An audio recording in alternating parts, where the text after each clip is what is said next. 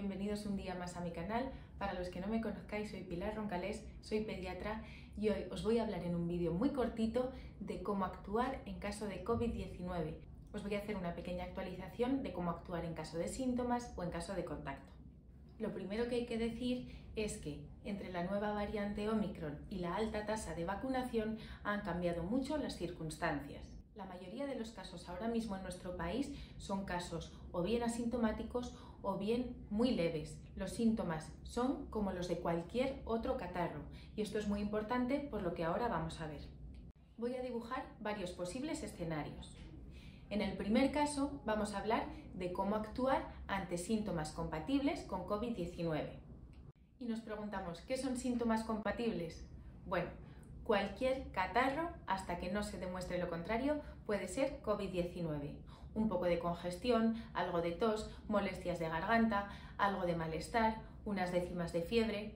No hace falta tener un fiebre ni una tos persistente o dificultad respiratoria para que tengamos la sospecha de COVID-19. De hecho, ante cualquiera de estos síntomas, lo que debemos hacer es aislarnos en nuestro domicilio y podemos realizar un test de antígenos, un autotest comprado en la farmacia. O bien podemos coger cita con nuestro médico o nuestro pediatra, que sea cita telefónica, para contarle cuáles son los síntomas. Si nos hemos realizado un test de antígenos en domicilio, un test de antígenos comprado en la farmacia, y este ha dado positivo, continuaremos el aislamiento en casa y lo que podemos hacer es, si vivís en Aragón, a través de la plataforma Salud Informa o a través de la web, comunicar al sistema sanitario el test de antígenos positivo en domicilio. Si hemos dado positivo además, lo que podemos hacer es comunicar a otras personas con las que habíamos estado las 48 horas antes de empezar con los síntomas que hemos dado positivo. Ahora hablaremos de qué ocurre en caso de ser un contacto estrecho.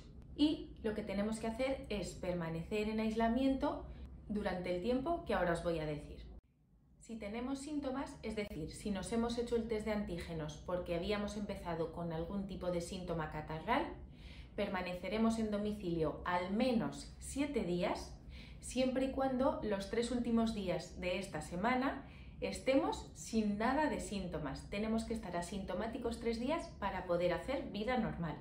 Además, una vez transcurrida esta semana, en los tres días siguientes vamos a tener especial precaución de no juntarnos con personas vulnerables y limitar las reuniones sociales. En el caso de volver al trabajo o volver al colegio, habrá que extremar las precauciones utilizando siempre mascarilla.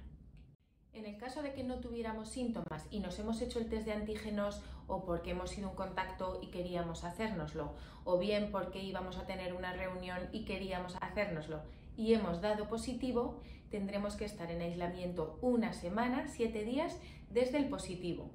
Pero ojo, si a lo largo de esa semana vemos que empezamos con algún tipo de síntoma, esos siete días empezarán a contar desde el primer día de los síntomas.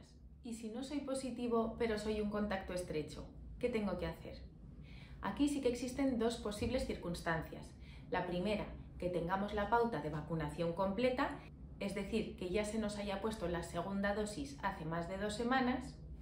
En este caso, no tenemos que hacer un aislamiento en domicilio Sí que, como he dicho anteriormente, extremaremos las precauciones, no haremos reuniones sociales, utilizaremos la mascarilla y lo que haremos será vigilar la aparición de síntomas.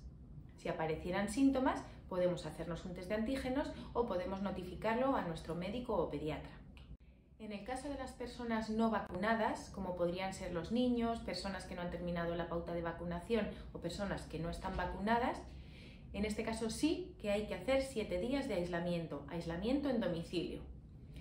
Y ahora una cosa con la que muchos tenéis dudas. En el caso de que sea un contacto intrafamiliar, es decir, que el padre o la madre haya dado positivo y que los niños estén en casa con ellos, que no se ha podido hacer una separación, como es lógico en muchas familias, es imposible hacer una separación con niños pequeños, no se puede hacer el aislamiento estricto. En este caso, la cuarentena de los niños sería cuando termina la cuarentena de los padres, a partir de ese último día, siete días más de aislamiento y vigilar síntomas, en caso lógicamente de niños no vacunados.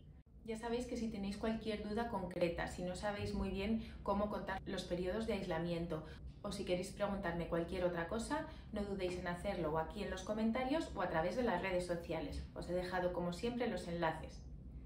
Espero que os haya gustado el vídeo, sobre todo que os haya aclarado algunas dudas y nos vemos en el siguiente.